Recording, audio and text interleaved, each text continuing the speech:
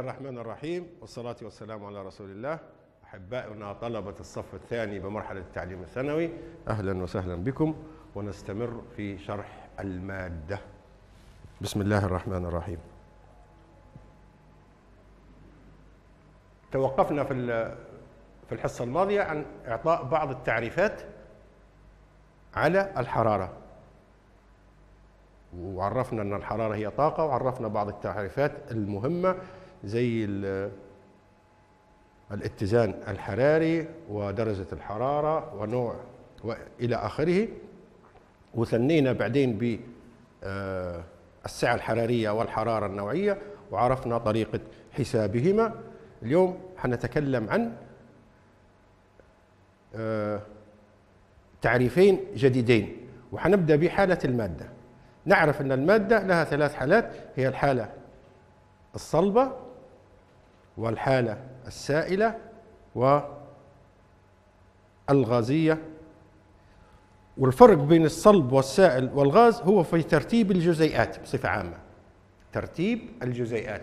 ففي حالة الجسم الحالة الجسم الصلب الجزيئات بتاعها متراصة.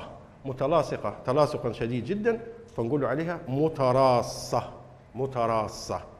أما الحالة السائلة فكل مجموعة من الجزيئات مرتبطة ببعضها وبالتالي يصبح بينها ما تسمى بالمسافات البينية.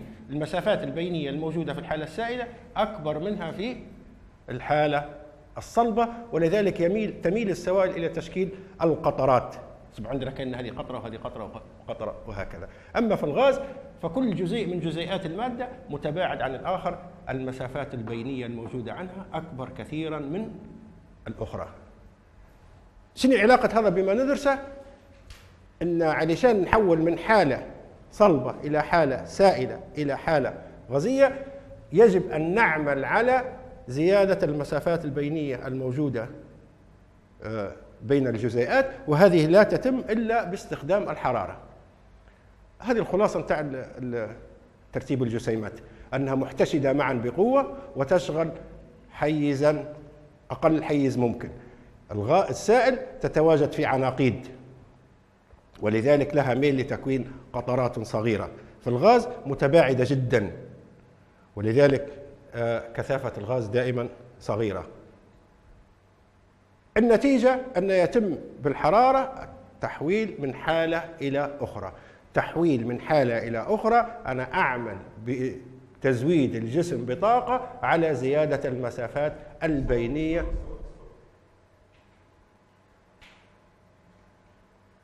بمعنى أن نحول من حالة الصلبة إلى السائلة إلى الغازية.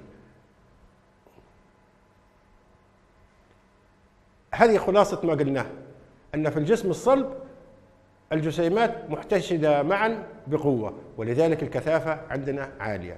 في السائل تتواجد في عناقيد ولذلك هذا ميلها لتكوين قطرات صغيرة.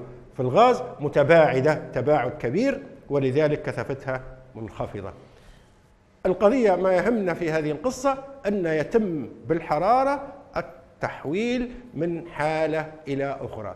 لكي نحول من حالة الصلبة إلى حالة السائلة لا بد من إمداد الجسم بالحرارة. للتحويل من النموذج السائل للحالة الغازية لا بد من تزويد الجسم بالحرارة.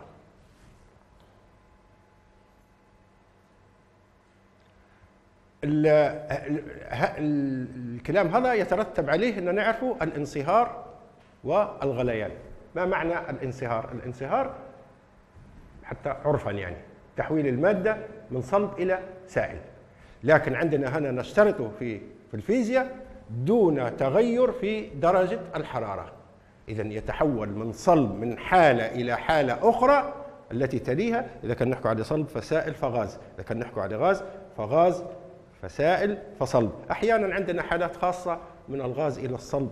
مباشرة أو من الصلب إلى الغاز مباشرة وهذا مش موضوعنا. ولكن الانصهار هو التحول من الصلب إلى السائل. ويهمنا أيضا أن دون تغير في درجة الحرارة. أشهر حاجة موجودة عندنا وملاحظة يوميا هي الشمعة. الشمعة مادة صلبة بالحرارة تنصهر. هذا الجزء يحدث فيه دائما انصهار. لو تخيلنا أن وضعنا ترمومتر عند هذا الجزء مشترى الحرارة. لوجدنا أن الترمومتر ثابت عند درجة الحرارة لا يتغير. وهذا اللي نقول عليه دون تغير في درجة الحرارة. ومن الطبيعي أن تختلف المواد في درجة انصهارها. بالتأكيد درجة انصهار الشمع لا تساوي درجة انصهار الحديد. يعني الحرارة اللازمة لصهر قطعة من الشمع بالتأكيد تختلف عن الحرارة اللازمة لصهر قطعة من الحديد وإن صغرت تختلف المواد باختلاف درجاتها في بدرجة حرارة انصهارها. الشمع الثلج مثلا في صفر درجة مئوية درجة انصهاره لما تصل إلى صفر درجة مئوية يبدأ انصهار الثلج. الشمع في 57 درجة مئوية القصدير في 232 درجة والذهب في 1067 وهكذا. إذا تختلف المواد باختلاف تختلف درجات الانصهار اللي هي حرارة الانصهار باختلاف نوع المادة. بصفة عامة لأي وحدة من هالمواد اللي ذكرناها سابقا هذه تجربتها البسيطة. إحنا هذا في المعمل لكن هذا الكلام ينطبق على أي طريقة على أي مادة أخرى. إذا كان عندنا كأس به ثلج وفي الثلج حاطين ترمومتر معملي لنقيس درجة الحرارة باستمرار. عندنا لهب بطيء وهذا اللهب مع الزمن يصبح كأن نمد في كمية من الحرارة. الثلج المجروش موجود في الكأس يسخن الكأس. نتيجة التلامس المباشر له هنا هذا ترتفع درجة حرارته بين الزئبق وبين الوسط المحيط يحدث اتزان حراري تنتقل الحرارة إلى الترمومتر فترتفع يرتفع الترمومتر في الزئبق ونقرأ درجة الحرارة. أنا شو ندير؟ نقيس درجات الحرارة حسب قراءتها من الترمومتر ونسجلها ونسجل الزمن. بعد دقيقة حصلت على درجة حرارة كذا بعد دقيقتين حصلت على درجة حرارة كذا بعد ثلاث دقائق حصلت. إذا علاقة بين الزمن ودرجات الحرارة. في الواقع الزمن يتناسب مع كمية الحرارة الناتجة من اللهب.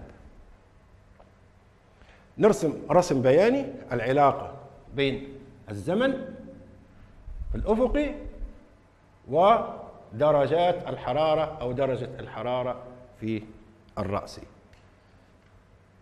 إذا نرسم العلاقة البيانية بين درجات الحرارة والزمن. على الأفقي نرسم الزمن على الرأسي نرسم درجات الحرارة. درجة حرارة الثلج كانت نفرض أنها كانت ناقص عشرة درجة مئوية. إذا يبدأ من ناقص 10 درجة مئوية ترتفع درجة الحرارة. في الرسمة اللي قدامنا أو في الشكل اللي كان قدامنا الزئبق الترمومتر الزئبقي يبدأ يرتفع في درجة الحرارة من ناقص 10 بعدها إلى ناقص 9 بعدها إلى إلى إلى إلى أن نصل إذا يحصل ارتفاع في درجات الحرارة. إلى الوصول إلى صفر درجة مئوية. عند صفر درجة مئوية يبدأ الثلج في الانصهار. يعني عندنا هذه عند النقطة هذه عندنا ثلج مادة صلبة. هنا يبدأ في الانصهار ويستمر في الانصهار يستمر في الانصهار ولكن دون ارتفاع في درجات الحرارة دون ارتفاع في درجات الحرارة. إلى أن يصل إلى نقطة محددة عند النقطة هذه النقطة هذه شنو تعني؟ يتحول المادة الصلبة بالكامل من ثلج إلى ماء. اذا في هذا الجزء عندنا خليط من الثلج والماء. في هذا الجزء عندنا خليط من الثلج والماء. عند هذه النقطة عندنا ماء فقط 100% ماء. النقطة هذه تعني 100% مادة صلبة ثلج. النقطة هذه تعني في المية في المية مادة سائلة مادة سائلة. هذا مع الزمن. هذا المحور الزمن. ثم باستمرار التسخين يبدأ يرتفع درجة حرارة الماء أو درجة حرارة السائل اللي موجود عندنا. الكلام هذا شو نستنتج منه؟ نستنتج منه إن عندنا ثلاث مراحل. المرحلة الأولى من P إلى Q وعندنا كمية حرارة. المرحلة الثانية من Q إلى R وعندنا كمية حرارة أخرى. ثم المرحلة الثالثة من R إلى S وعندنا كمية حرارة ثالثة يعني عندنا واحد اثنين ثلاث كميات من الحرارة لازمة لتحويل الحالة الصلبة للمادة إلى حالة سائلة. إن اكتفينا بهذا القدر اللي عند هنا تحولت بالكامل. هنا تحولت بالكامل. هنا تحولت وارتفعت درجة حرارتها ويصبح هذا الخلاف الاختلاف اللي موجود عندنا.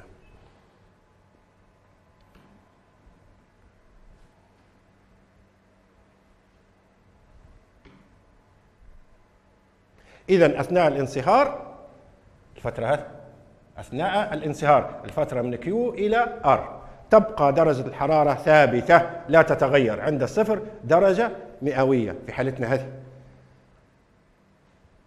ويمتص المادة الصلبة تمتص الحرارة وتبدأ في تفكيك جزيئاتها.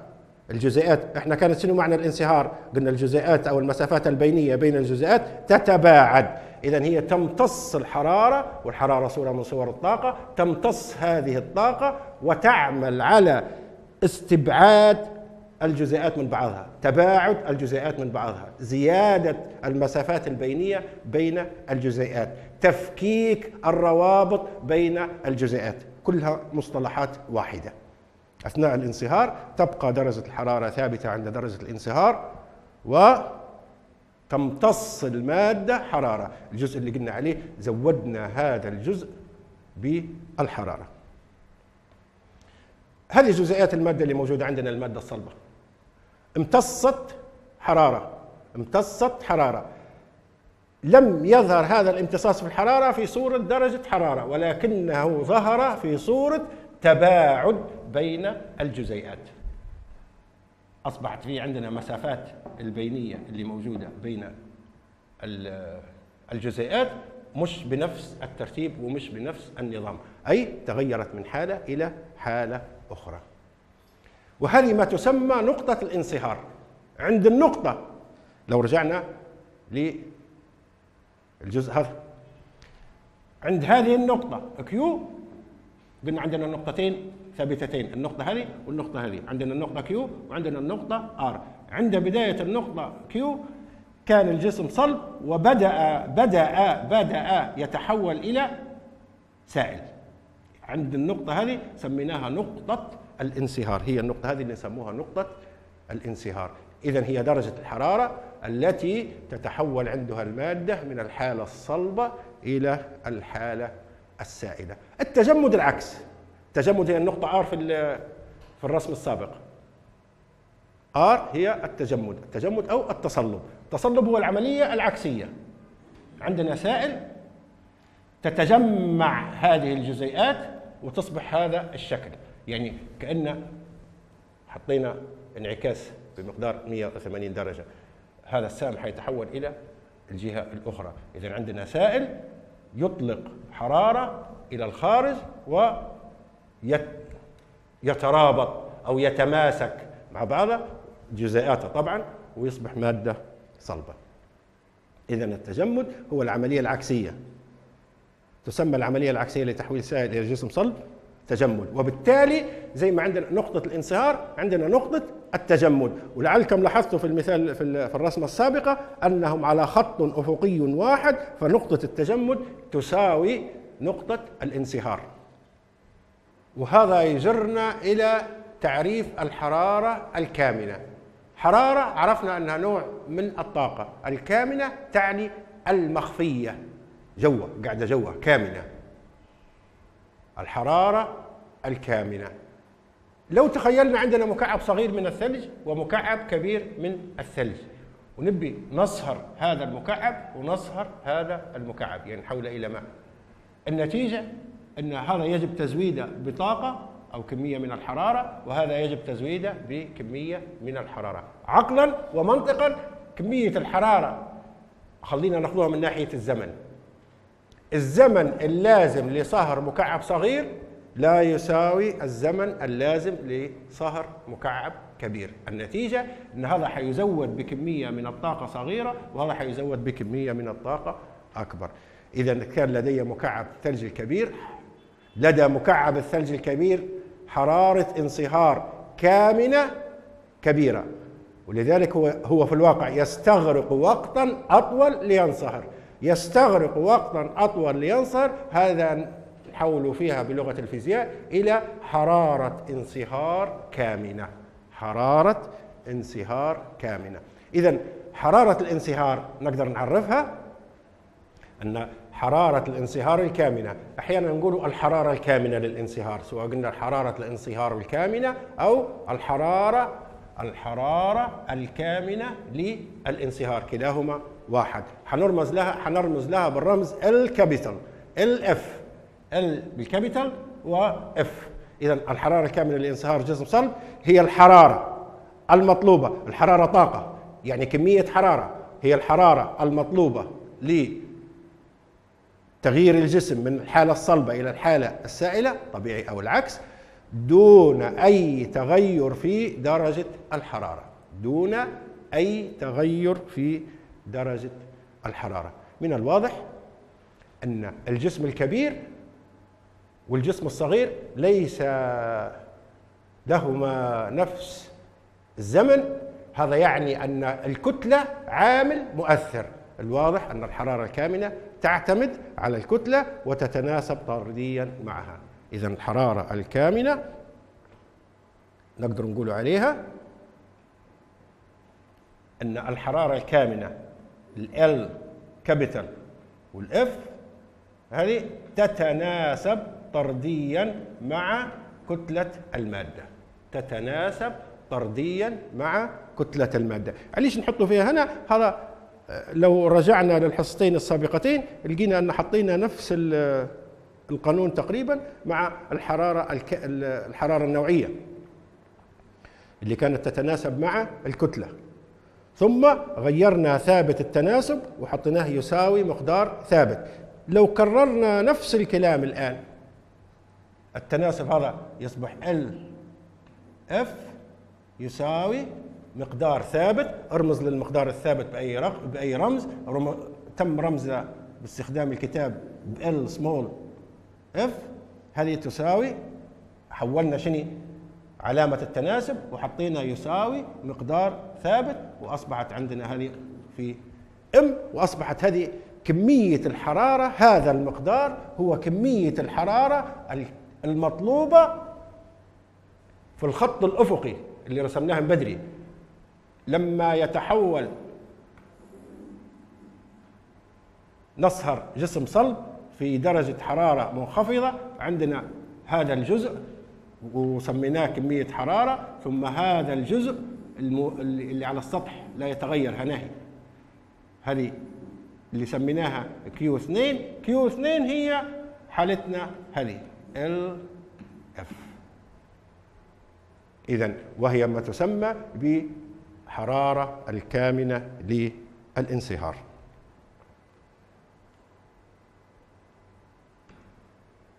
اذا الحرارة الكامنه تعتمد وتتناسب على وتتناسب مع الكتلة. وهذه العلاقة اللي حنحسب بها كمية الحرارة. إن ال اف الحرارة الكامنة للانصهار تساوي L small f مضروبة في M. شنو L F small هذا مقدار ثابت للمادة الواحدة. مقدار ثابت للمادة الواحدة. يعني يتغير بتغير المواد ولكنه ثابت للمادة الواحدة. L F تساوي الحرارة الكامنة للانصهار. ال small F تساوي الحرارة الكامنة النوعية. حنسمي المقدار الثابت هذا الحرارة الكامنة النوعية. هي كمية حرارة تعتمد على نوع المادة.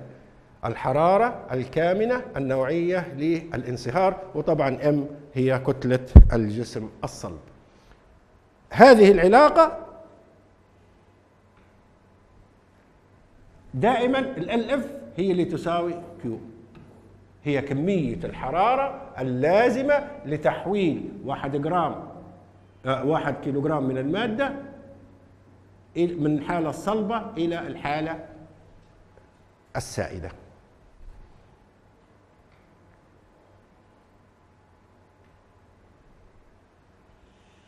الحرارة الكاملة للانصهار تعرف بأنها لأي مادة صلبة. طبعا الحرارة النوعية لانصهار المادة الصلبة. هي الحرارة المطلوبة لتحويل واحد كيلوغرام منها من المادة يعني من المادة الصلبة من الحالة الصلبة إلى السائلة أو العكس دون أي تغير في درجة الحرارة. في فرق بينه وبين التعريف اللي حطيناه من بدري التعريف الآخر هنا عندنا الحرارة الكامنة النوعية للانصهار. بدري كان عندنا الحرارة الكامنة للانصهار. في فرق بينهم؟ نعم حطينا هنا الأولى كانت لا تحت الأولى لم تذكر فيها الكتلة. الآن حطينا اشترطنا أن هذه الكمية كتلتها واحد كيلو جرام. كتطبيق على الكلام اللي قلناه محاولة إن شاء الله نكونوا فهمنا عندنا المثال يقول قطعة مثلجات كتلتها 150 جرام. جلاطي كتلته 150 جرام مادة صلبة. فإذا كانت الحرارة الكامنة النوعية لانصهار الثلج هي 300 340 ألف جول لكل كيلو جرام أو طبعا نفس النتيجة هذه الأرقام حطيناها بكيلو أو 340 كيلو جول لكل كيلو جرام. أوجد الحرارة المطلوبة لصهر المثلجات. أوجد الحرارة المطلوبة لصهر المثلجات. شنو أعطانا وشنو طالب؟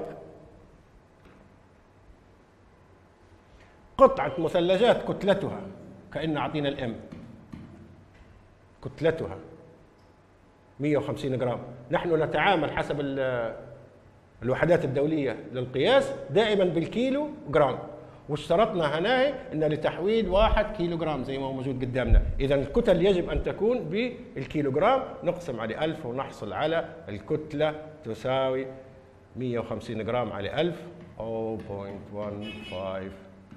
كيلو جرام فإذا كانت الحرارة الكامنة النوعية هذه اللي عبرنا عنها الحرارة الكامنة النوعية وأعطيت رمز L small وإف وهذه قيمتها. هذه قيمة الحرارة النوعية. أوجد الحرارة المطلوبة لصهر المثلجات. يبي قيمة كيو كيو اللي عبرنا عنها في القانون اللي كانت تساوي ال في اف مش ال في اف الاف ال صب اف الاف والله كيو حسب القانون اللي كان معطى. الاف تساوي السمول اف مضروبة في ام هذه معطاة عندنا هذه معطاة عندنا حصلنا على المطلوب.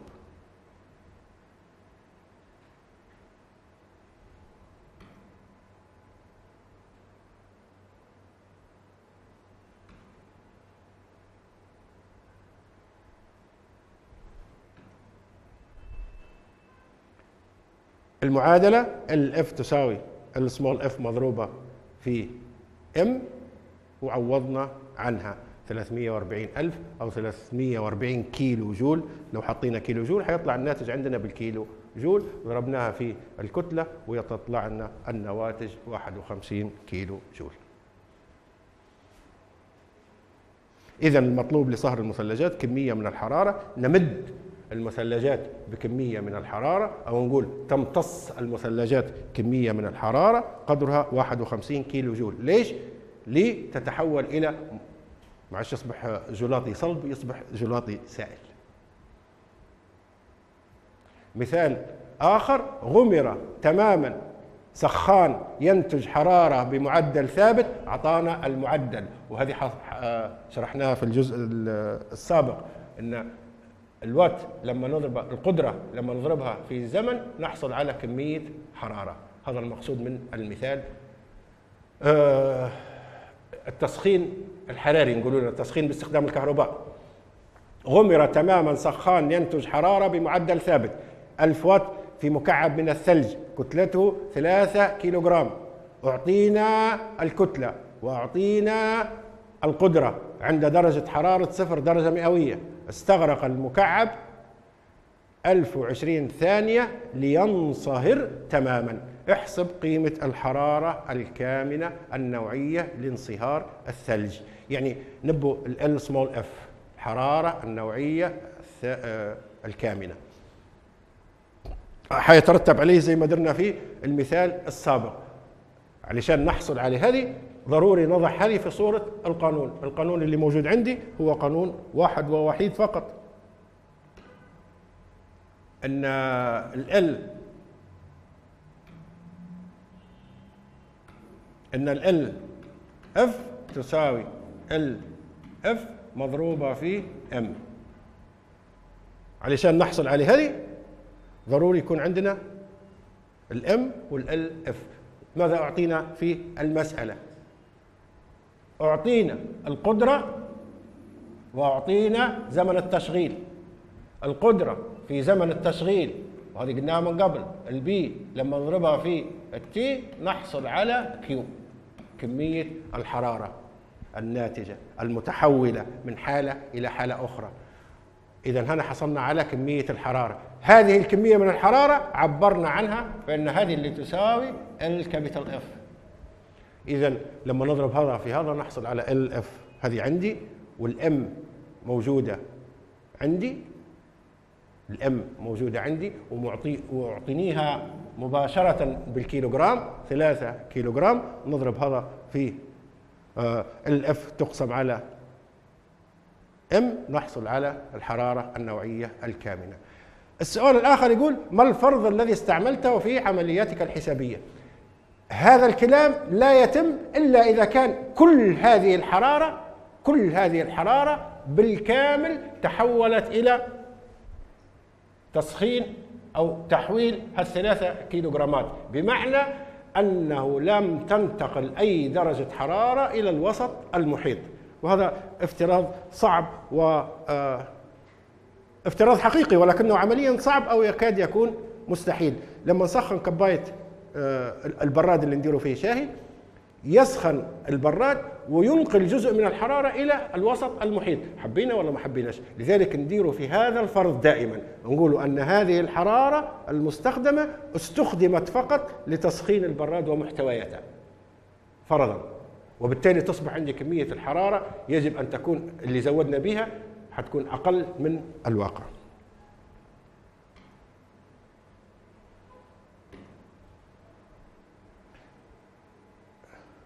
اذا علشان نحسب الحرارة النوعية لازم تكون عندنا هذه ولازم تكون عندنا هذه وهذه العلاقة الرياضية اللي تربطهما ما ننساهاش نحفظها تماما. وعندنا أن Q هي ال F اللي قلنا عليها وال Q اللي هي شنو؟ هي الحرارة التي يمدها السخان هي ال P T ونعوض التعويض المباشر اللي يطلع عندنا وتطلع عندنا 340 جول. 340 جول. عفوا. 340 كيلو جول. 340 هذه آه هذه كيلو كيلو 340 كيلو جول. هذا ما أمكن اراده وتيسر إعداده وقدر الله لنا قوله. آه نلقاكم في حصة قادمة إن كان في العمر بقية. والسلام عليكم ورحمة الله وبركاته.